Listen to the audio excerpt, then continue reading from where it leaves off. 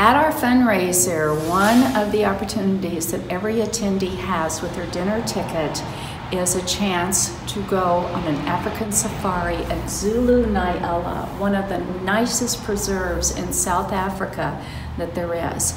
It's seven days and six nights. It's for two.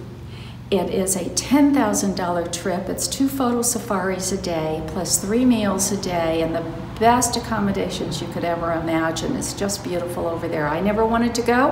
I went. I go every year, and I'm going to continue to go. And with a dinner ticket of $85, you get an opportunity to win. If you want to increase your chances, you can buy another ticket for $25 a person or five for $100. So you can increase your chances to win. And We hope to see everybody there because it's a fun time.